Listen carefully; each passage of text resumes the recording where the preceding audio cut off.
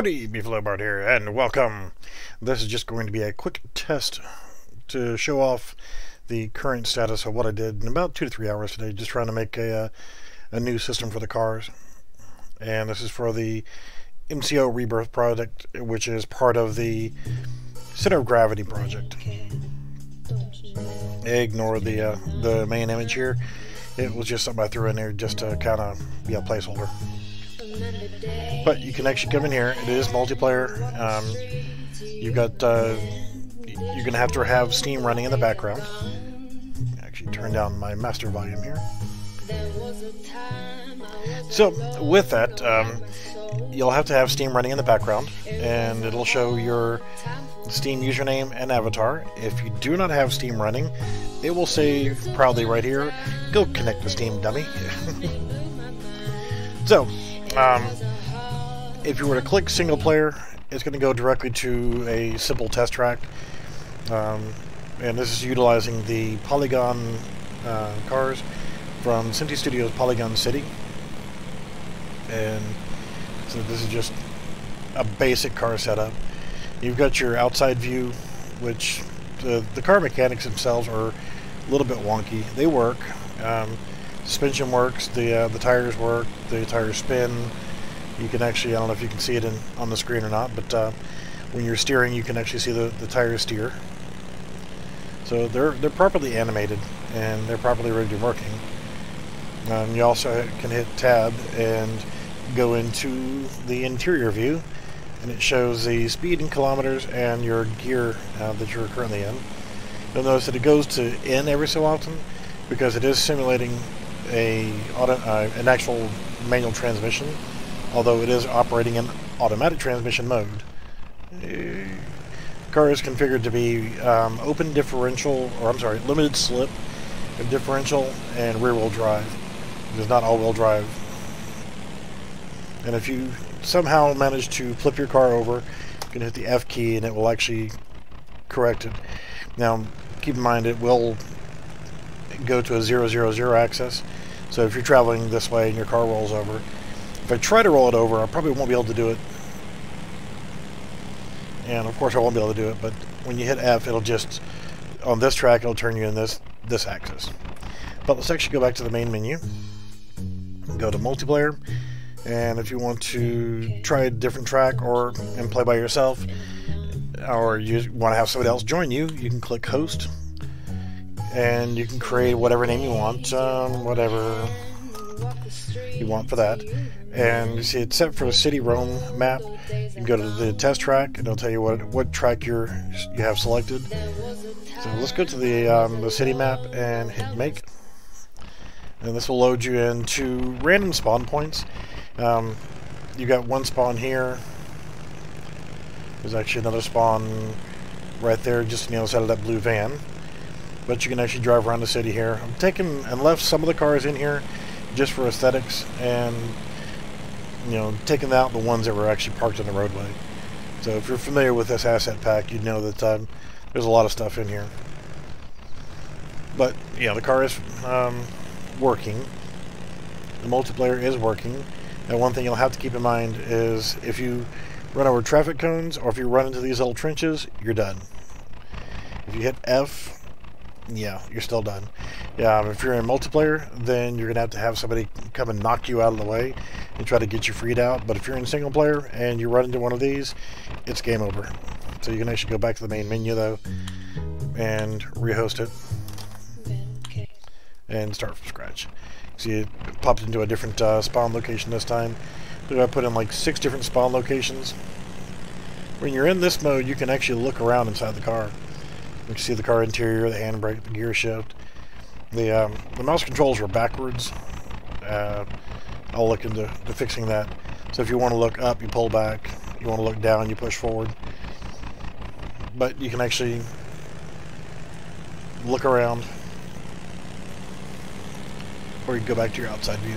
They make it so you can knock over the traffic cones and the um, little construction barricades, just because, well, see, this is where I'm trying to fix the steering. I need to get someone that can um, help along the way with um, setting up the configuration for the car. Because the end result of what's going to happen is the car itself is going to be configured for everything. Tires, um, the differential setup. So if you want to change your diff out, go from um, 373 to a 410 or whatever gear ratio in your rear axle, you can change your your your, your actual axle rating uh, ratio. Um, the other things like tires, you'll be able to change your different uh, to different tires, suspension settings, things of that nature, and there'll be parts you'll have to purchase from a um, a shop or from an a auction house, so that whenever you actually buy them, you can install them to your car, and once you install them, it will change the performance level of your vehicle. So having the right car setup will make or break how well your car does on the track. Now these these two tracks that I've got set up right now, there's no checkpoints, there's no laps, there's no nothing. These are just for getting out here and experimenting with. Uh, I just wanted to have something to, to play around with, try some handbrake turns, and what I'll try to do this evening is whenever you hit the space bar, that's actually your handbrake. So what I'll do is I'll try to rig up a set of lights so that um, as you're driving, if you hit your your handbrake, the brake lights will come on. You know, another thing you can use is um, hitting the S key or down key. That will actually slow you down, but it'll also put you in reverse so you can turn around. And if you're in the interior, you can see that um, it'll show the reverse as what your current gear is. So, yeah, I, just put together this in about two to three hours and just wanted to test out some changes to the car settings. Um, I have posted links in the description for the video for this particular build version and also inside the um, Discord channel in a couple different locations. So if you want to get this particular version, download it and play around with it. But bear in mind, this was about a two or three hour build. This was not something that I spent a lot of time on today. Um, I wasn't home very much, so I didn't get as much work done as I wanted to. But I will be doing some more work on it tonight. Like I said, I'll try to get the brake lights. That's something that's cosmetic, you know, nothing really, really fancy. And I'll probably go ahead and set up the animation blueprints for a couple more vehicles. Because currently right now, inside the um, the asset pack that I've got, the these cars came with, I've got this, which kind of resembles a uh, 67 Camaro. I've got um, Crown Victoria. I've got the, as you can see, the police car right there. And each of these different cars. Now, if you notice, I'm, I've got blue with white stripes. If I were to go back to the main menu and go back into it again, I've got it set up, and of course it's going to make a liar out of me, but um, I've got it set up to randomly select different colors for your car. See, like this time it, picked um, red with white stripes. There's actually a couple different colors that it'll randomly cycle through. At some point down the road, what's going to happen is you'll be able to go to a paint and body shop and select a paint job, whether it's a solid paint job or um, with stripes, without stripes, and you know, just variations of different colors. Now I've got um, some static cars set up also to put in the background. They're kind of um, throw-ins from the original Motor City Online. And currently right now they're not rigged for driving, but I'm trying to get those rigged up. See, there's a Crown Victoria. I can rig that up. I've got a van. I've got an ambulance. I've got um, a two-door and four-door compact car. Probably see those over here in the parking lot. You see you've got various different colors of the uh, the taxis, the Crown Vics, the, the van. There's the uh, four-door and the two-door compact cars. And again, there's the van. And like I said, I do have an ambulance to go along with it as well. So I'll try to get the um, animation blueprint set up for more of the vehicles and then actually look into creating a um, a better store system. What I'll probably end up doing is setting it up to where this little two-door sport compact car is your actual starting car and if you want to get the other vehicles, you actually have to purchase them by winning money in races and things of that nature. So, um, I know this is. Let's actually exit out of this. I've actually got um, on a different version of the project and can actually open up that project as part of the store system um, and ATM system so you can actually check your, your bank balances and so forth. But um, I'll show that pretty quickly here. Hopefully this will load fast. Um, have been making some progress. Um, I do need to try to get some more people involved in the team. And let's actually open this in standalone. And I'll show it this way. Again, the whole point of, the, of this mode of the game is while you're actually in the lobby system itself. The lobby itself is going to be, um, instead of something like this, a physical lobby, I'm going to end up changing the system back out, going to the, the central cog system. And just was just showing off some of the interface stuff that I can work with. We go to auto sales, you'll be able to choose from your different cars, like your Sport Compact here, and you'll you'll get a price tag of how much it'll cost to buy the, the cars and whatnot. You can see there's a 32 Ford Coupe sitting there in the background. Um, that's one of the cars that I want to try to get in here as quickly as I can. Let's actually go into single player and may not have had that one set up correctly, but we'll see.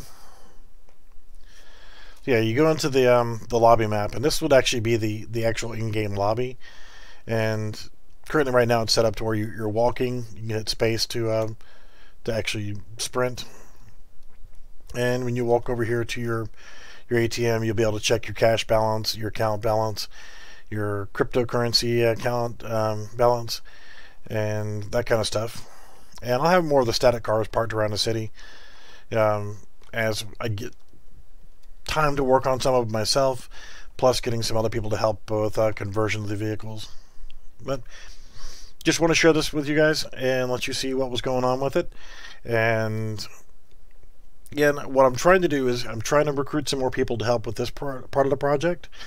And with COG itself, the uh, center of gravity, if you're not not familiar with what we're doing with that project, is the center of gravity project is actually a virtual lobby system to where you come in here, you can walk around, you can socialize, you'll be able to go and do things like, okay, um, I want to go to the pizza parlor. I walk inside and I can hit E or whatever the key binding will end up being, and you'll actually be able to go into it. Um, whereas, like with ATM system, you're going to have cash that you'll be able to use to buy things with, and you'll earn cash from doing racing and doing uh, first-person shooters or MOBAs or whatever else. Um, if you want to go and play, we'll say the the car racing game, then you come over to whatever building it might be, and it could be a used car lot, or you go to the car lot and you go to the hangout spot where you can do a car show, or you can go to another building and say, okay, this is the one for going to do um, the a MOBA, or come over here and I can enter, and this will bring you into other lobbies, so you'll be able to join other games. And the game or the whole project of Center of Gravity is not actually a game, but it is a place for you to be able to, to log into a master server and be able to find games with people that are in your same region. So by handling it as a Steam region based, um, you're getting people that are close by that'll have a better ping. And it's utilizing Steam, so therefore, if somebody acts the, the fool, they can be VAC banned, and you know, that'll that'll take care of them for the most part. But with the um, each individual portion of the game itself, um, there the driving game is going to be based off of the original Motor City Online, and inspired by that, there will be classics. There will be 32 Ford Coupes all the way up to, you know, the 70 Mustang and, and that era of muscle cars. There's going to be sport compact cars and their own separate division.